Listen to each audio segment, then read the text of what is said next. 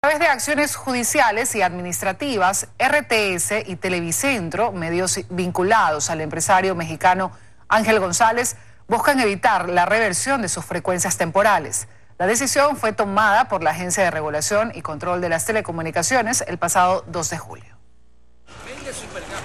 Las resoluciones con las que en 2015 se entregaron las frecuencias temporales de RTS y Televicentro deben ser anuladas, según una disposición emitida por la Agencia de Regulación y Control de las Telecomunicaciones Arcotel el pasado 2 de julio.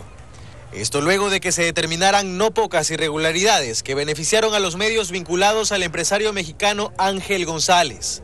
Sin embargo, en parte la decisión del Arcotel aún no se ha podido viabilizar pues a más de la apelación presentada por las estaciones ante la entidad, ambas han iniciado procesos judiciales.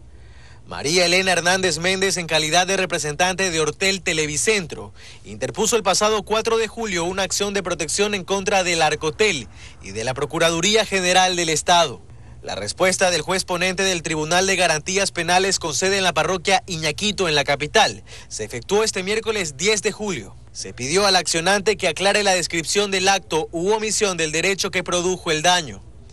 Pero no es la única acción judicial que se ha emprendido. Luis Esteban Gómez Amador, en calidad de presidente de la compañía Tele4 Guayaquil, en la misma fecha, también interpuso una acción de protección. Por sorteo, la competencia se radicó en la Unidad Judicial Sur de Familia, Mujer, Niñez y Adolescencia en Guayaquil, donde la jueza Larisa Ibarra admitió a trámite la acción de protección con lo que se suspenden las resoluciones emitidas por la Arcotel. La audiencia judicial está agendada para el próximo 22 de julio y a ella deberán acudir tanto el director de Arcotel, Ricardo Freire, como los demandantes. A través de un comunicado que apoya Teleamazonas, varios medios de comunicación entre los que constan Ecuavisa, Diario El Universo y Manavisión, solicitaron al ministro de Telecomunicaciones y al presidente del directorio de la Arcotel que disponga de la inmediata ejecución de las resoluciones mediante las cuales la entidad ordenó la reversión de las frecuencias en cuestión. Por ahora en Guayaquil la señal de Televicentro salió del aire. En Guayaquil, Carlos Acoto, 24 horas.